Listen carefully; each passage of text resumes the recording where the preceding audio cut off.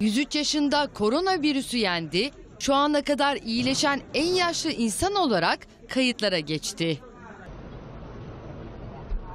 Dünyayı saran virüse karşı tedaviler büyük bir hızla araştırılırken sevindirici haber virüsün çıkış noktası Çin'in Wuhan kentinden geldi.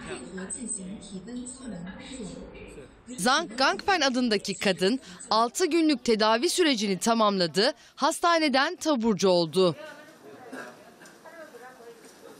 Yaşlı kadının doktoru 103 yaşında virüse yakalanan kadının hastaneye kaldırıldığında durumunun kritik olduğunu, iletişim kurmakta güçlük çektiğini belirtti. Doktor ayrıca kadının 6 günde iyileşmesinde başka bir rahatsızlığının bulunmamasının etkili olduğunu ifade etti. 103 yaşındaki Zhang Gangpen'den daha önce 101 yaşında bir hasta koronavirüsü yenmiş, iyileşen en yaşlı insan olarak kayıtlara geçmişti.